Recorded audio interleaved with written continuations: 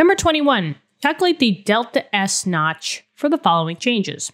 And then we have this balanced equation here. We have 2H2 gas plus O2 gas gives me 2H2O liquid.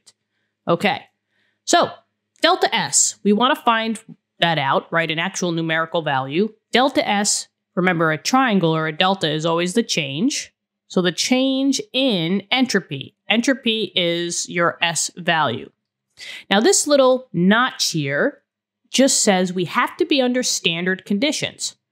And anytime that we're talking about standard conditions, we're talking about appendix values in the back of a textbook.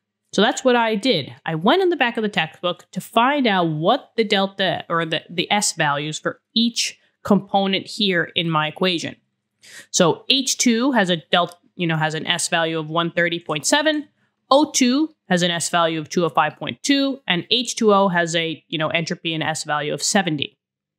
Now, if we had to estimate if our delta S, if our change in entropy is going to be a positive or negative, it seems that we're going from states that are very high, it has high entropy values, right? Gases are all over the place, right? So I have a lot of randomness. Keep in mind that's that's what entropy is all about. I got a lot of randomness.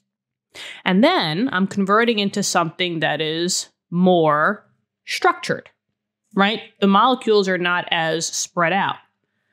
So if I'm going from something that has high randomness to something that's lower, my delta S probably is going to be a negative here. So that's what we're, you know, we we have an idea that okay, I'm looking for a negative value. And that's a good way to check if your answer is correct.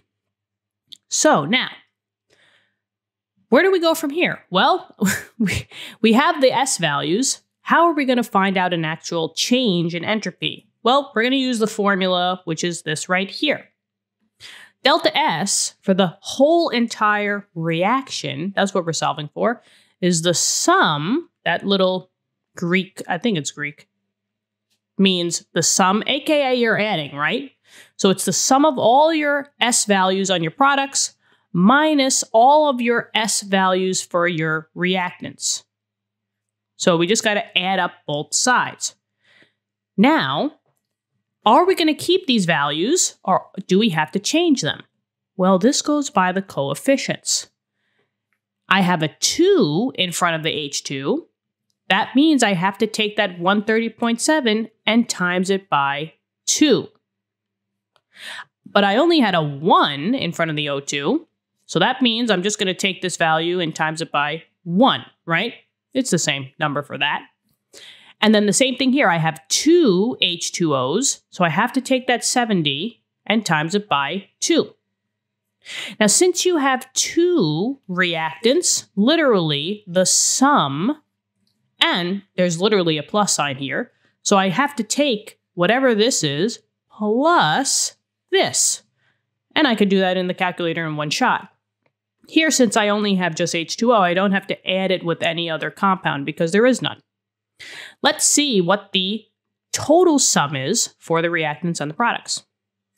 So I'm going to say, okay, I got 130.7 times 2 plus the 205.2. And that looks about good. So the side here now is 466.6. The product side is just going to be 140, right? Because 70 times 2, 140. We'll keep that sig fig at the end, 140.0. And now we are ready to plug it in. This is the total for the products. This is the total for the reactants. Products minus reactants. So my delta S for my whole entire reaction is 140.0 minus the sum of the reactants, which was 466.6.